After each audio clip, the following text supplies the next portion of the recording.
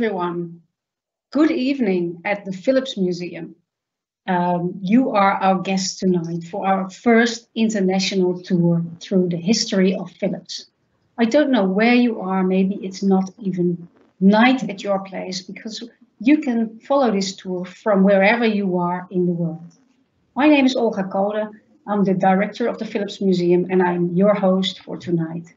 In the recent months, we have worked hard to turn our original museum experience into a cultural, virtual, and altogether fun time for everyone of you. Everyone who is not able to visit the museum because maybe you are living too far away, and even for the people who know the museum already, we have some very special features, special images and stories that are not on display in the museum.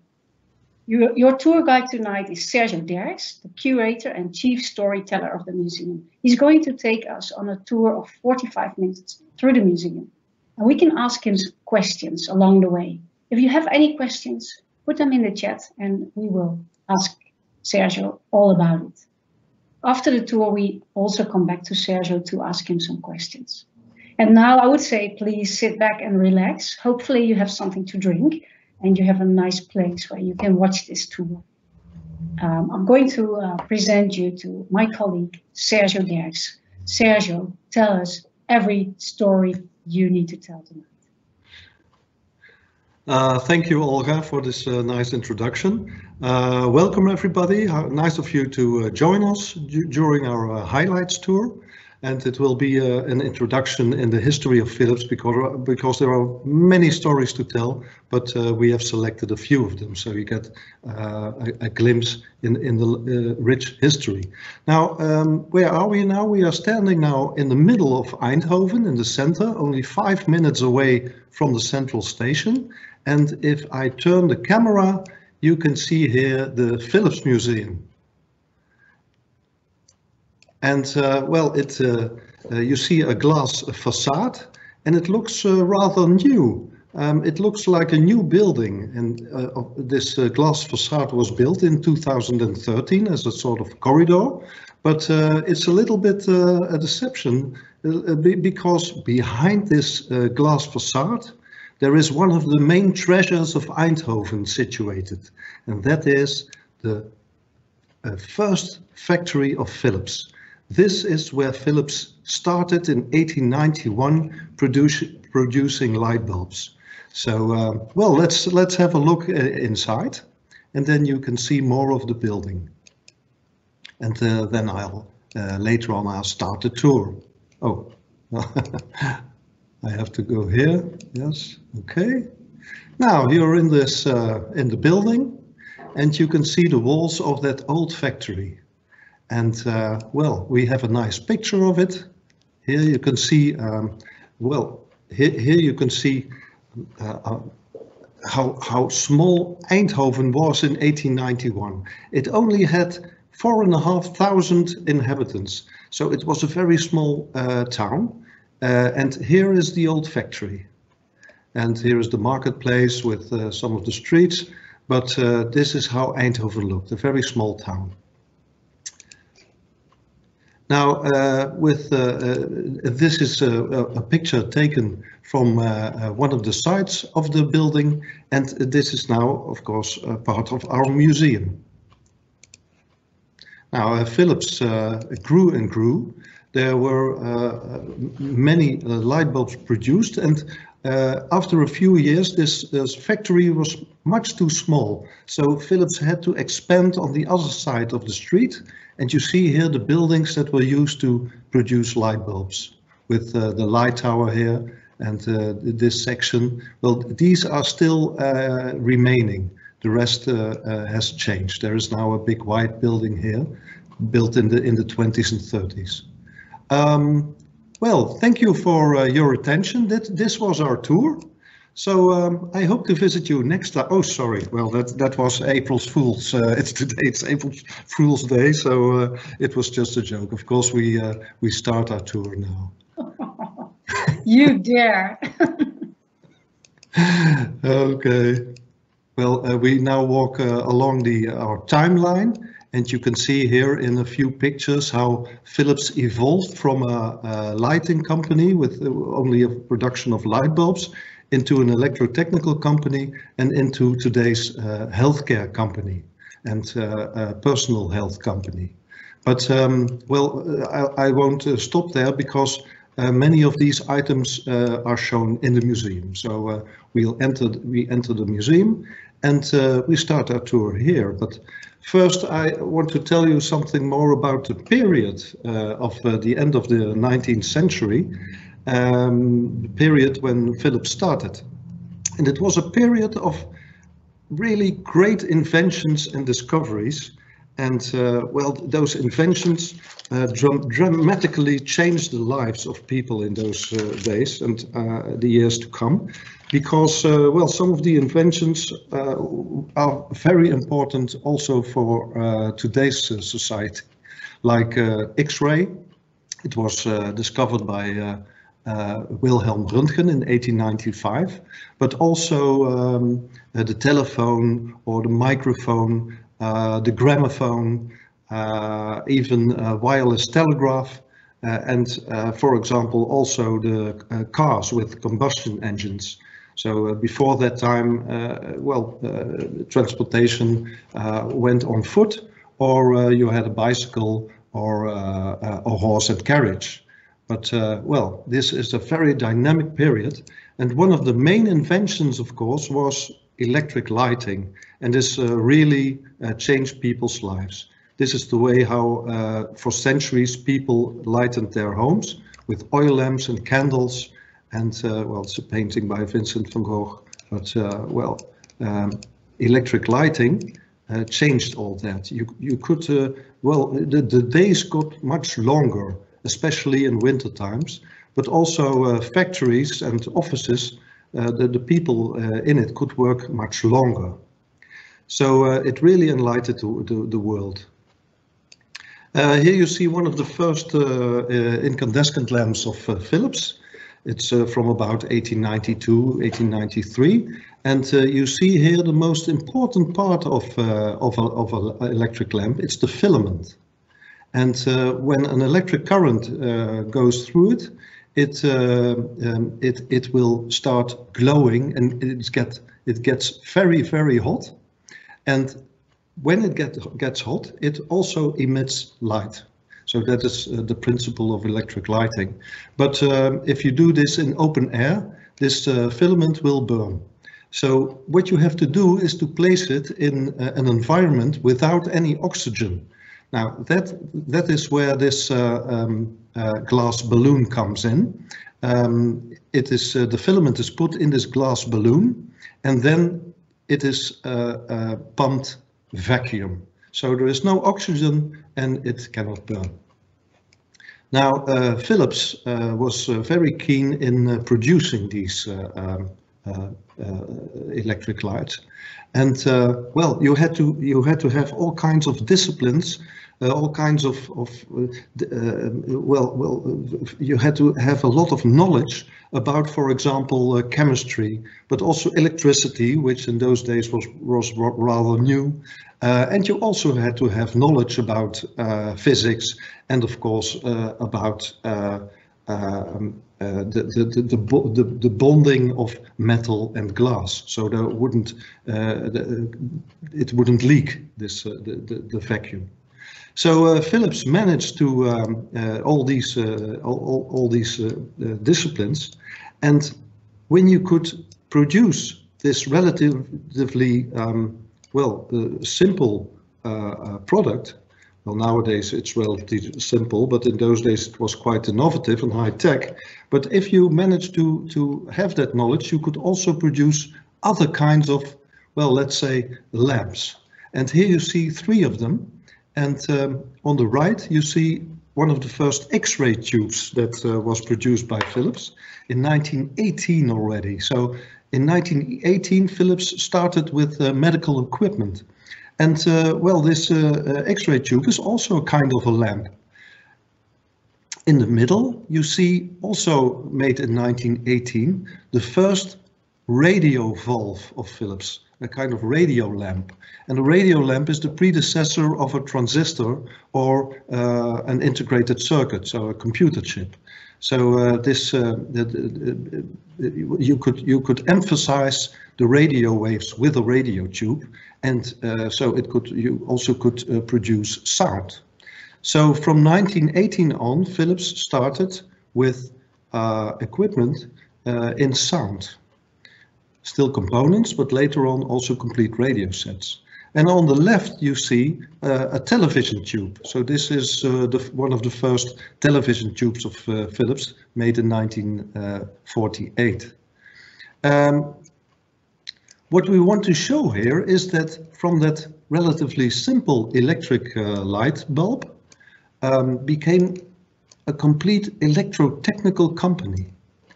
So um, that's, that's a very important part in the history of Philips. Now uh, let's have a look at uh, the men who started all this. Who, who were they and what did they do? Well, I tell you a little bit more of it. Here you see the three men that uh, play a key part in, well, in, in, in starting and the growth of Philips. First, we see here on the very right, we see the father. This is Frederick Philips, and he was a banker and a manufacturer. He had uh, uh, uh, a tobacco company, for example, and other, other companies. He was a very wealthy man living in Zaltbommel. And this um, is Gerard Philips. This is his oldest son. And he was the technician, the engineer, uh, the scientist. And he is the most important one because he started uh, the electric uh, uh, company, electric lighting company. And uh, on the left we see Anton Philips and Anton was uh, the youngest son. He was 15 years younger than his older brother. And he really was uh, a, a reveler and a little bit of a show off, but he was a born salesman and a born entrepreneur. And well, these three men really contributed in the in the in the growth and well-being of the factory and they laid the foundations on which we build uh, still even today. Now, um, Gerard Philips was, uh, as I said, a technician and engineer, and he worked in uh, in a shipyard, first in uh, in the Netherlands, but then he uh, went to Scotland, to Glasgow, and there he came into contact with electric light, with the power and the glory of electric light, because part of the cities of that city in Glasgow was was electrified, and uh, also the uh, steamships that were built there on the shipyard. And well, uh, electric lighting on the ship is much safer than oil lamps. So Gerard thought, well, that's quite interesting. That's that's that's marvelous. What what a great invention. If I get back to the Netherlands, I see a future in it. I want to produce electric uh, lamps. So um, he had that idea set in his mind and he went to it to his father and uh, his father said, well, that uh, seems quite a good idea. Um, I um, want to support that and I'll give you a large amount of money to start your own company. And so together they founded uh, Philips and Company and, they, and it took off 15th of May. So we are almost 130 years uh, underway. Now here you see uh, Gerard Philips uh, experimenting with uh, making the filament of the lamp, that most important part. But uh, well, as I said, he was a he was a technician, not a salesman, and uh, business didn't uh, take off as it should. So there was a lot of competition, and um, well, business went went rather bad. So Father Philips asked his youngest son, Anton Philips, to join the company and to help his uh, older brother. And at that time, well, uh, Anton was was living in London, in that large city of London, and he had the time of his life there, and uh, he was uh, working as a stockbroker in, in a very dynamic environment. And uh, well, he said, "Well, Dad, you, you're kidding. You, you can't mean this. This, this. I don't want to leave London for for Eindhoven. It's it's." It's a small city of, of, of four and a half thousand inhabitants. There's no place for me there. Well, and his father said, "Well, come on. Uh, well, uh, you should help him. He's he's your older brother." So so Anton reluctantly said, "Well, okay, I'll come to Eindhoven, but just for six months, and then I'll go away." Uh, but he stayed here, as we now know, uh, all his life because, well, he saw all kinds of opportunities uh, to sell uh, electric lamps. He traveled all over the world, so he he, he really made this. Uh, he really made Philips into the, a big company, and uh, within a few years, it was the number three uh, lamp manufacturer of the world. So uh, it's quite a, an astonishing achievement. Now, well, let's have a look in that uh, old, in that very first factory. And uh, well, this is a very nice picture. And one of the perks of uh, of, of uh, one of the advantages of uh, this virtual tour is that, that we can jump over this uh, barrier and go in this old factory. Now, this is a reconstruction, but there are actually original machines of that early period of 1891. So the machines that, that Gerard bought and used, of course. Now, uh, I have a question for you. You see here in the ceiling, you see an electric uh, light um, um, and, and there is a, a, filament and it's a little bit reddish. Um, do you have any idea of what material it was made of? And I'll give you a hint. Uh, Edison, who is said to be the inventor of uh, electric lighting, used bamboo. And every piece of filament had to be carved and cut in the right dimensions to be used as a filament. Now, what do you think Gerard Philips used? Well, I give the answer. You can see it here. He used cotton. Quite astonishing, isn't it? He, he used cotton, and that cotton was uh, dissolved in an acid. You see that here in this large bowl. And then it was under pressure injected in uh, one of these four vessels. And then uh, when this cotton was dissolved in acid and, and injected in these vessels, there was a large or long cellulose uh, uh, wire. And that cellulose wire was dried on these drums. And after that, it was uh, they were put, well, I get a bit dizzy now. Okay, it was put in this in this uh, uh, well in this container, and this container was put in an oven. In this oven, you you can see here part of the oven. And um, after this procedure, uh, you got um, well, you got carbon filament, and uh, that was used in those days. Uh, and uh, girls with their tiny hands uh, did the delicate work of placing these um, delicate filaments into that glass uh, bulbs, in that glass balloons. And uh, after that they sealed it and uh, one of the last stages was to pump it all vacuum. And you see that here. Now, this uh, pumping of vacuum took six to seven hours, so it, was, it, it, it cost a lot of time and a lot of labor to produce light bulbs in those days. And later it was all um, um, machine, me me mechanized, so it was much more efficient to produce uh, these uh, light bulbs. Now, and Gerard Philips took good care in uh, the quality uh, of, of the lamps, and uh, well, he, he uh, uh, succeeded in doing that. And he offered good quality lamps for uh, relative um, for relatively good prices. Now here you see those early employees. And uh, well, it's uh, thanks to the labor of these employees that uh, Philips also took off. And you see in front with those big mustaches, you see a few men but uh, well, they did the the, the, the well the, the heavier uh, labor, like like uh, operating the steam engine. Uh, but mainly, the, the the biggest part of the work was done by these young women, um, young girls, and uh, well, uh, all the employees had to work very hard, and they made long days, as as was common in those days. but Philips took good care of them, and Philips, in fact was and is a very social company.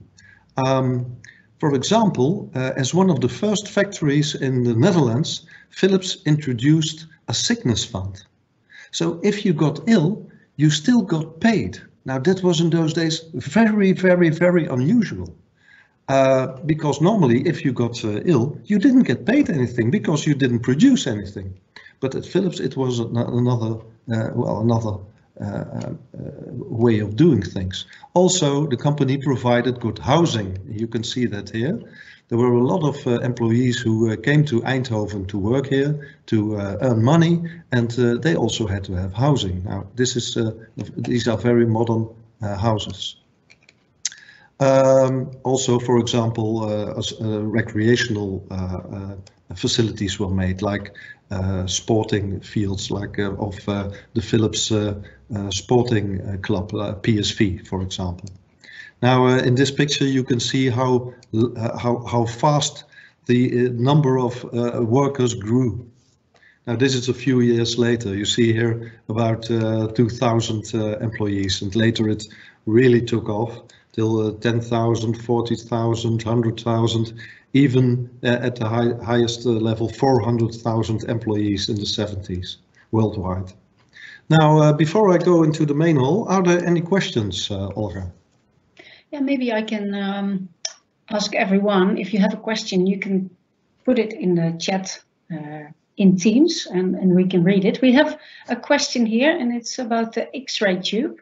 Mm -hmm. The question is, when why did Philips start with X-ray tubes?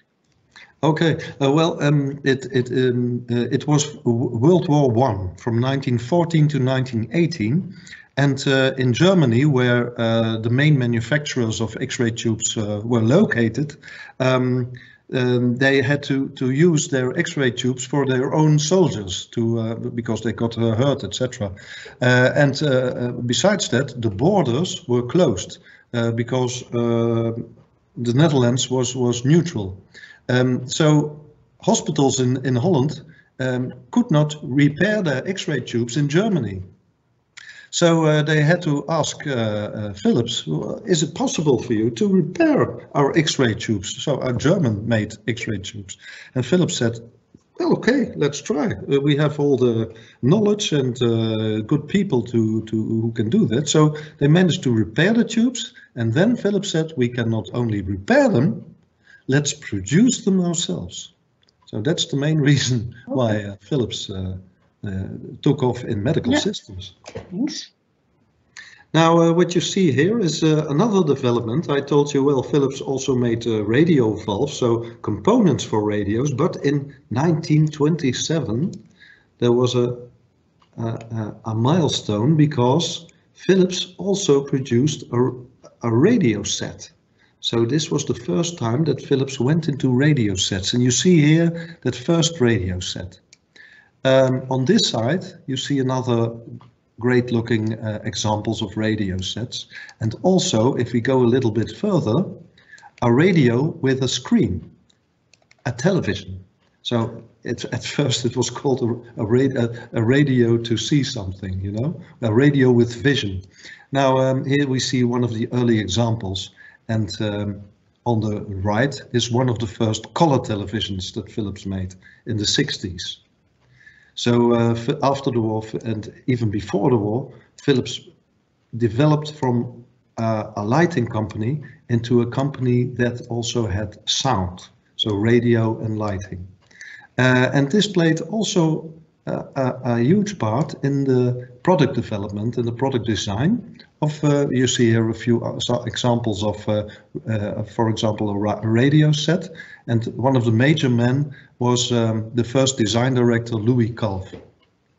And that radio also inspired Louis Kalff to uh, form the um, shield emblem. Now, um, well, I, I, you, you see here for the first time the, the waves and stars on the packaging for a radio valve. And uh, after that, it was used as an ornament, so the stars and waves were used as an ornament for uh, a round loudspeaker opening. So these uh, waves and stars are uh, the radio waves going through the sky. And uh, from this, somebody got a brainwave and said, hey, let's make that round loudspeaker opening with those waves and stars as our uh, trademark. Let's uh, deposit it as our trademark. And so in 1934, Philips deposited this as a trademark. And uh, Uh, the stars were of course light and the waves were sound. So these are also the two main uh, businesses of Philips in those days. But uh, a, British uh, chemical company protested and said, well, it looks too much like our uh, trademark. And then Louis Kalff placed the name Philips above it in a kind of shield. So this is this we called the shield emblem, the shield logo. And uh, it's, it's a little bit of a chivalrous uh, uh, shield. Now this is in, from the 50s and 60s. And here we see our present day shield. So uh, it's still, it are still the waves and stars of the company in a little bit modernized way. Now let's go uh, uh, have a look at the main hall. You can see here, if you come, if you are in the position to come to the museum, you can have a look at it yourself. Uh, but now it's it's closed during uh, Corona time, so we hope to open uh, one of these days, hopefully. Um, what we see here is, for example, the research department of our museum. Uh, and in 1914, Philips started Philips Research. It was called the Natuurkundig Laboratorium or the NatLab. And uh, you see here the main character, uh, the main uh, director of the company, that is uh, Gillis Holst. He started in 1914, but it was an initiative of Gerard Philips. And it was done so because well, the, the patent law uh, was uh, again reinstalled, was reinstalled in the Netherlands. So to stay ahead of the competition, Philips had to have its own inventions and its own patents. And that's what the NatLab played a key part in, a, a, a, key role.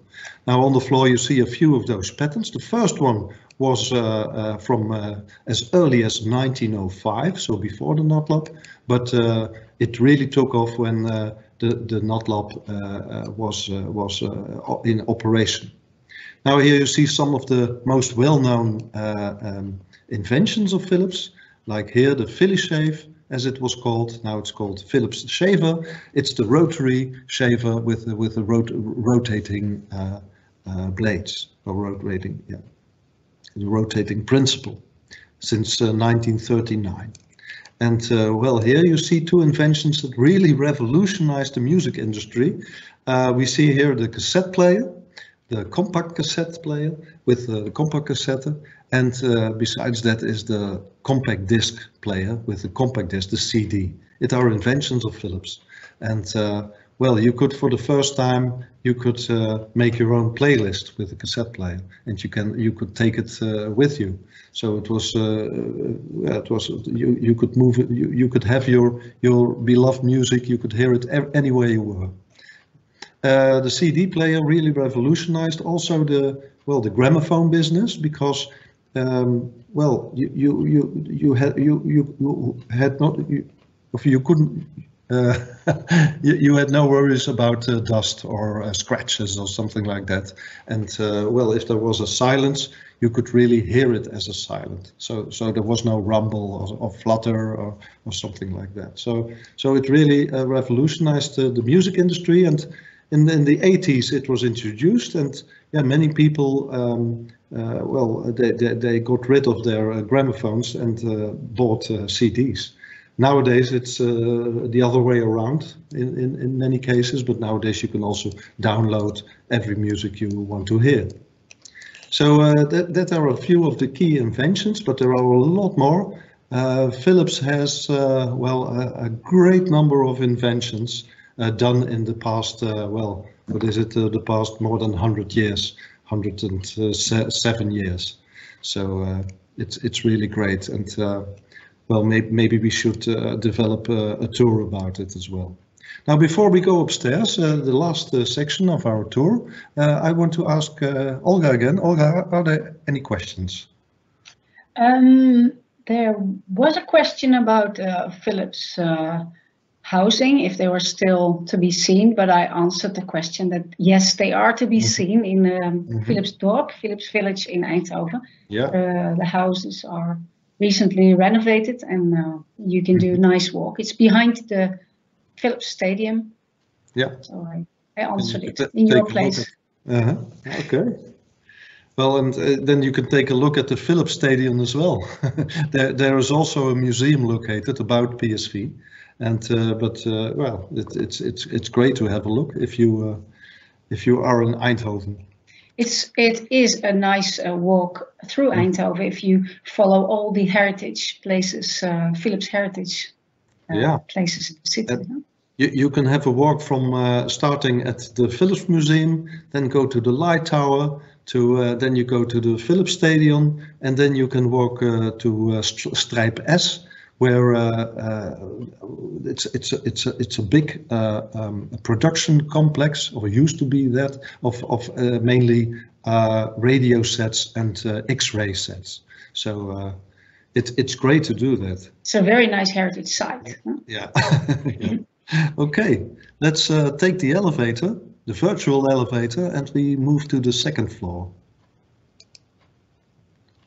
Okay, we made a jump, but I'll jump in the right direction. Uh, this is one of the great, uh, great benefits of doing it virtually. In just a, second, you can go everywhere you want. Ah, what do we see here? Yes.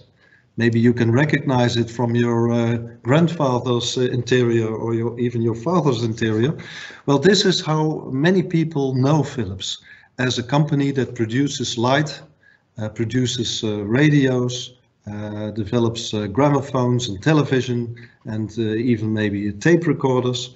And here we, beneath the, the television set, you also see an Infraphil. It was a, a red light to, uh, well, if, if you had muscle pain, i- it could relieve that uh, muscle pain. So this is uh, how many people recognize it. And this part of our museum is called Memory Lane. So in Memory Lane, we also have, for example, an old kitchen. Uh, also rings a bell, I guess. So uh, you see here a toaster and uh, uh, well, uh, here's are some frying pans. And also we have here uh, a mixer and a sharpener, and of course, well, a citrus machine to press uh, cypresses. No, I don't. That's not, not cypresses. that's a tree. Well, you know what I mean. I hope to press or oranges, for example, Mhm. and of course a coffee maker. Now, uh, Philips now concentrates on health uh, care. So um, it was uh, announced that the domestic appliances uh, division is now sold to another company. Uh, so, uh, but Philips uh, uses that money to invest in companies, in buying companies of well that that are health tech companies. Now, in after the war, war, Philips produced well a lot of different products. Yeah, like you can see here in this uh, long showcase, and uh, well, it produces practically every uh, product with a plug on it. So uh, it, it, it, it, it, it goes from cassette players to uh, uh, vacuum cleaners uh, to hair dryers, well, you name it. Philips made it. Not only for the consumer market, but also for, for example, for the professional market, like here. This, these are uh, Philips computers from the 60s, the late 60s. Also, for example, this is another example uh, of professional equipment. This is a studio camera, television studio camera, and you see here three tubes. And uh, well, this is, was a camera for color television. It was used in studios really all over the world. Uh, this is the very first Dutch satellite. And uh, well, Philips uh, joined hands with uh, the, the airplane company Fokker to uh, produce this uh, first satellite. Now here another example, this is an, an, emergency uh, stand uh, standing next to uh, the main roads in the Netherlands. Well, nowadays they are not uh, available anymore because everybody has a cell phone, so it's not needed anymore. But you can see a special design with some, it looks, they look like a bit of a rabbit ears, and that's to shield you from the noise of the traffic. So it's uh, very well thought. Um, and a last example, this is a wafer stepper Now, what's what's what's a wafer stepper? Well, you can see that here in the on the computer screen. Um, this is a machine that makes uh, wafers, so that makes uh, computer chips. So these kind of wafer steppers are uh, now produced by ASML in the Netherlands, and uh, they are sold all over the world. Uh, but it all started at Philips, and this is a picture of the 1980s. Okay, well, I said uh, Philips produced everything with a plug on it, but there is a, a one big exception. And you can see that here. And uh, exception is also the name of a Dutch uh, pop band, but there was one big exception, and that are gramophones and compact discs and even movies. So Philips produced that and um, had also uh, a large entertainment business.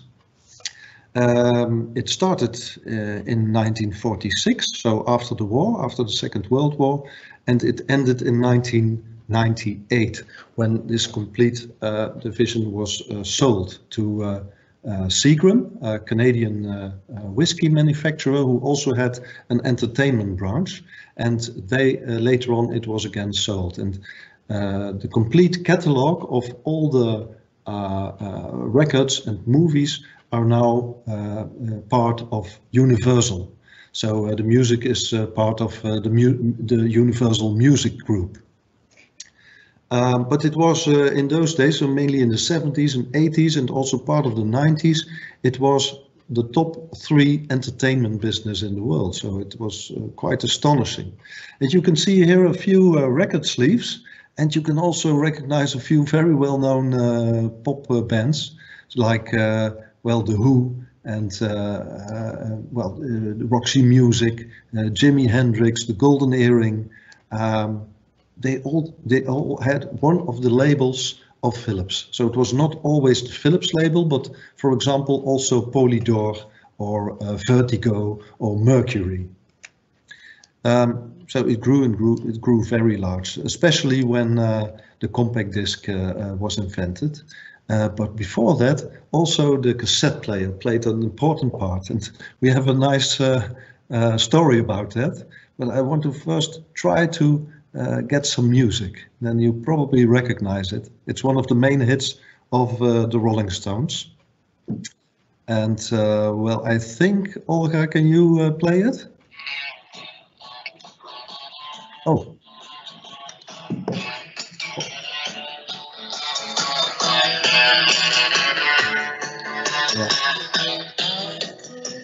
Uh,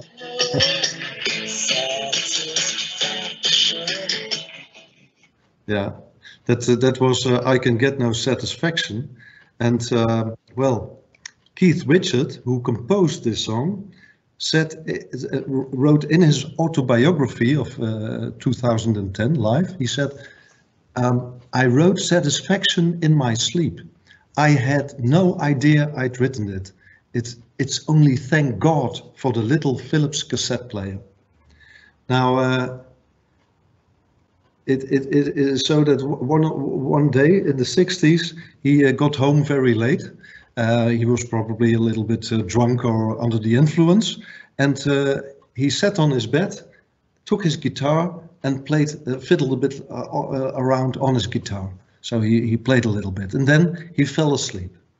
But the next morning, he uh, he, he saw his uh, uh, little Philips ca cassette player standing beside his bed, and he saw that the tape was at the end. And he thought, hmm, I have no idea. I, maybe uh, I recorded something yesterday evening, but I can't remember it. I don't know what I did. So he pushed uh, the rewind button and then play, and then he heard him playing the melody and the riffs of I Can Get No Satisfaction and after that 40 minutes of him snoring.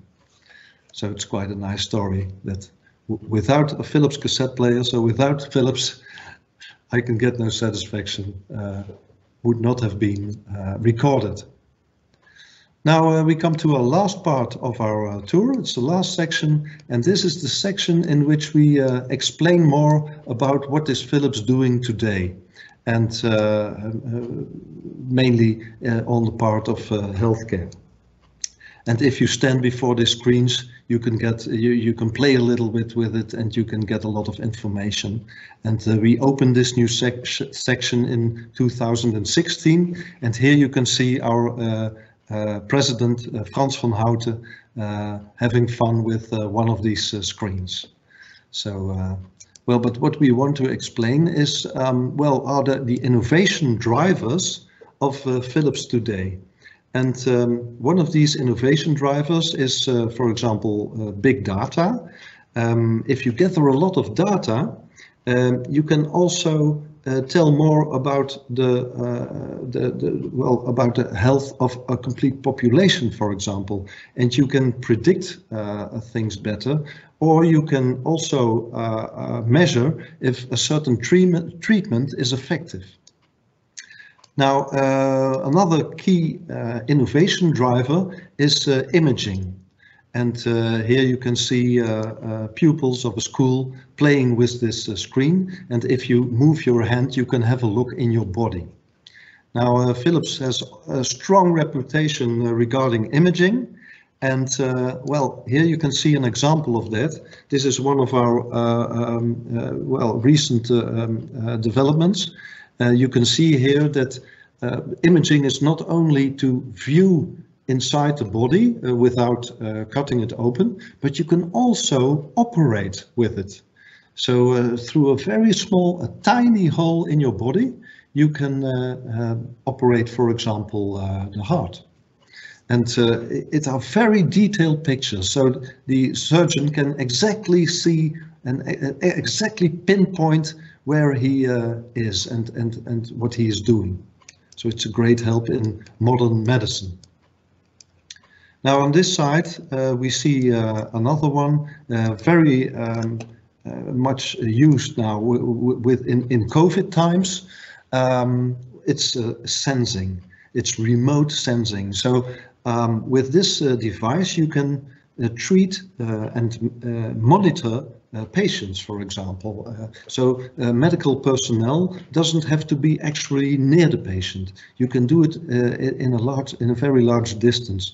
Uh, you can measure, for example, heart rate or temperature of the body or blood pressure um, or the way you, you breathe, etc. Now and here I show this one. So this one is well, very well known uh, um, in, in the Netherlands because it's a ventilator and uh, this is used in many hospitals uh, uh at in intensive care to, uh, to, yeah to to let the uh, COVID patients breathe better. So it's a life-saving device, and it's it it was in the news for quite a, a, a lot of times in in the Netherlands. So it's one of the ways in which uh, Philips contributes to uh, fighting uh, COVID-19. Now we are almost at the end of our tour and you see here the main mission of today's health tech, uh, healthcare company Philips. It's improving people's lives through meaningful innovation. So it really is the, the, the, the, the main mission of the company. Of course, also making money because otherwise you can't exist as a company. But it's it's great to work for a company that has improving people's lives and to make this world a better place as a main strategy. Now, uh, a last example of that is, uh, well, you see here an MRI scanner. And, uh, well, Philips um, wants to, uh, uh, uh, to, to improve the, the the, the experience of the patient and also of the medical personnel. Now this is a good example of this. Um, Philips not only develops the, the MRI scanner itself, but also the treatment room. So you see here round corners, a nice coloring, and even uh, a picture for children on the wall. Um, nowadays we have a collaboration with uh, Disney, for example. So if a child has to undergo this screening, it's, um, well, some children are very stressed because it's quite, hmm, it, it's quite exciting to undergo this. You have to go into a tunnel, but uh, in a, by making, uh, um, well, a, a, more relaxed atmosphere, also the child uh, uh, will be more relaxed and will have less stress. So in that um, is two ways because it's better for the patient, but also better for the hospital. It's much more efficient because you can um, screen more people if they are relaxed. And uh, it's also much uh, better for the uh, medical personnel. So it's a much healthier environment. And this is just a small example of how Philips con contributes to improving people's lives. Thank you for your uh, attention. I hope you've enjoyed it. And if there are any questions, well, just uh, feel free to ask them. Thank you. Thank you, Sergio, for the stories. Um, we have some questions here, just reading them through. One is about, um, can you tell us when Philip started to go abroad, to open, to do business abroad? Oh, uh, yes. Well, um, the first uh, international um, location was Belgium in 1919, uh, but abroad, so if we're talking about the United States, it was in the 30s. And in the 30s, uh, Philips started there, by the way, with X-ray. And um, after X-ray, it um, it was the, the main part in the uh, overseas expansion was, uh, for example, were, were the shavers. So shavers were a worldwide success uh, from the 50s, and especially in, uh, in, in the United States, where there was a huge market for electric shavers, and um, it got the brand name Norelco. And that was I was just going to ask. It, it wasn't called Philips. No, no, Why it was not it called Philips? In the and that was uh, arrived from North American Electrical Company. Why was it not called Philips in America? Uh, well, there was another uh, company with double L's, Philips, and Philco. So there was too much. Uh, well, there were already names that that that were too similar with uh, Philips. Mm -hmm. Okay, thank you. Then there is another question about the satellite. Was it? Is it been in space? Yes, in 1940, uh, 1974, it was launched. Ah. And it um, well, it it it it really made uh, did, did great research. Uh, uh, for example, with uh, X-ray um, uh, X-ray uh, pictures of, of, of of of the skies. let's say. Of, oh yeah. The, yeah. Uh-huh. Okay. interesting. Mm, let me go and see what else we have. Oh, don't forget the Philips products without a plug for example, a toilet seat. Someone says, "Oh yes. I have a toilet seat." Yeah, just uh, yes. oh, very, uh, also made toilet uh, seat. Yeah. yeah. We, we, we, we still want one for, for our museum, but it has to be unused. Uh, uh. for hygienic reasons. Yes. Okay, then I will not tell you about the Philips sensual massage because that's mentioned as another product. Oh, yes, yes, it was also it was developed in Drachten. Uh, that that uh, well for a part, at, at least, and uh, well, uh, it's also part of, of, of your your healthiness. If you if you have a, a healthy uh, sexual life, it's it's uh, yeah, it's human. So, but but it it it, it was only in the portfolio, I think, for a few years, and after that it stopped. Mm -hmm. Uh, and then there is um, a question about, yeah, someone says, oh, I really want to visit a museum. Do we still have free access after the disentanglement of, uh, of uh, domestic appliances? That's, um, I think so for at least for the rest of the year, but I'm not sure if, if it will be like that for very much longer than that. But you're always welcome, of course. Mm -hmm. Well, it's uh, it's maybe good to mention that uh, also um, the lighting uh, activities of Philips are uh, a separate company since 2016. And uh, well, we, we, we, we, for a few years, we uh, also had admittance for people of the company named Signify. Yeah, just going through them. If there aren't any questions, please ask them.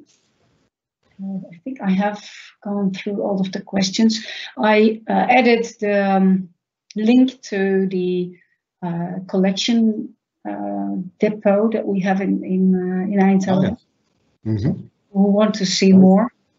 Are, are there many international visitors, uh, Olga? I don't know. Okay. They don't tell us.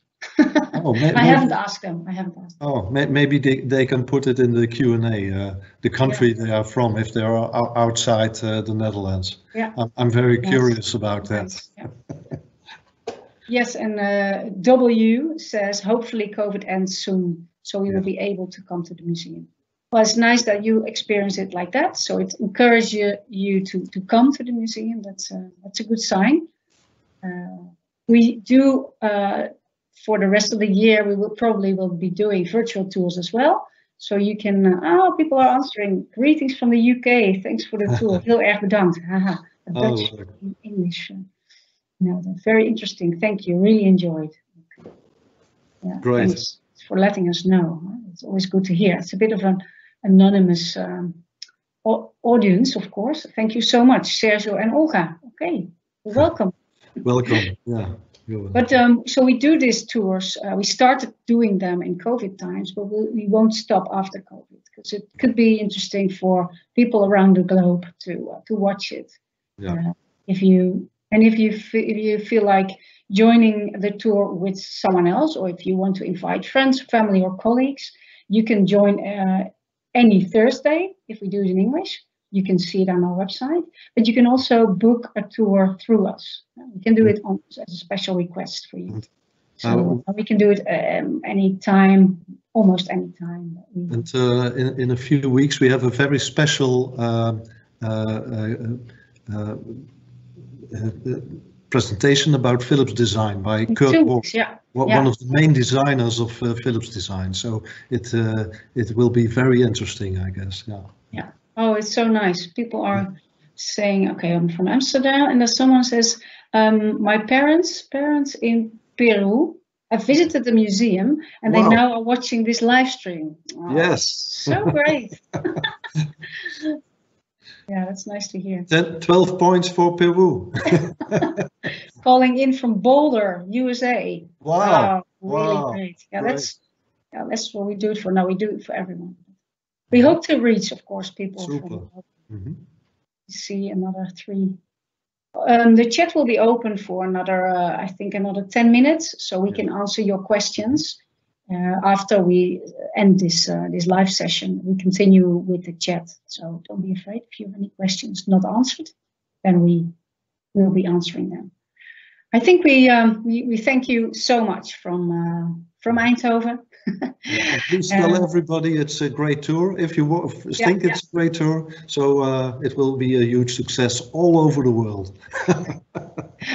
Yeah, thanks to COVID, I would say, because otherwise we would not have uh, developed it probably. I would also like to thank my colleagues, uh, our colleagues behind the scenes, Marina and Bas, for assisting us. And uh, we hope to see you again virtually or in real life. Have a nice uh, spring, and we uh, we hope to see you back. Bye bye. And happy Easter. Okay, bye bye.